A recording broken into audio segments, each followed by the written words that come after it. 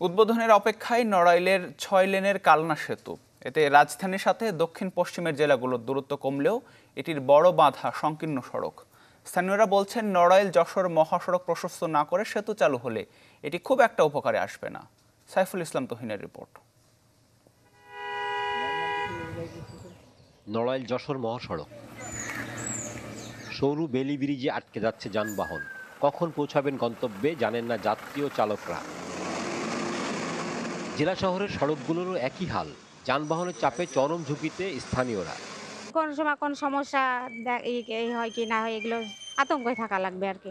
যে কোনো মুহূর্তে আমাদের স্কুলের ছেলে মেয়েদের দুর্ঘটনা কবলে পরিত হবে এবং সেটা পরবর্তীতে খুব ভয়াবহ রূপ ধারণ করবে। বাইপাস সড়ক যেটা মূল যেটা যে দরকার আমাদের ওইটা না হলে এটার বিকল্প এখানে কোনোভাবে চলা সম্ভব না।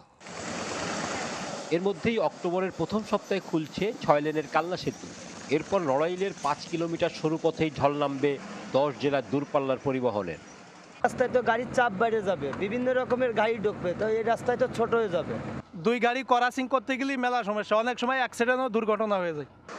যদিও সড়ক ও জনপথ অধিদপ্তরের দাবি ভাঙা যশোর বেনাপোল মহাসড়ক ছয় লেনে উন্নীতকরণের জন্য এগারো হাজার কোটি টাকার প্রকল্প নেওয়া হচ্ছে। মাত্র তিন কিলোমিটার বাইপাস হয়ে আবার এই অংশটা শহরের মধ্যে ঢুকে গেছে। অর্থাৎ পুরা বাইপাসটা করতে গেলে আমাকে ধোপাখোলা থেকে সীতারামপুর একটা মিসিং লিঙ্ক আছে। এই মিসিং লিংক বরাবর আমাদের ল্যান্ড অ্যাকুইজিশন করে রাস্তাটা নির্মাণ করতে হবে। আর জেলা প্রশাসক জানান ছয় লেন প্রকল্পের নড়াইল অংশের কাজের অগ্রগতি জি টু জি পর্যায়ে আছে। অর্থায়ন নিশ্চিত হলেই কাজ শুরু হবে। আমাদের কাছে প্রস্তাবনা দেওয়া আছে। এখন আমরা দাগ খতিয়ান মিলিয়ে সম্ভাব্য যে এস্টিমেট সেটিও আমরা ইতিমধ্যে প্রেরণ করেছিলাম। তো এই প্রকল্প বাস্তবায়নের আর্থিক বিষয়টি, এটি এখন এনশিওর করা হচ্ছে। তো আশা করি যে এটাও শীঘ্রই শীঘ্রই এটি শেষ হবে। পদ্মা সেতু হয়ে নোয়াপাড়া, বেনাপোল, ভোমরা এই তিনটি স্থলবন্দরে যাতায়াতের অন্যতম সড়ক, ভাঙা যশোর, বেনাপোল মহাসড়ক।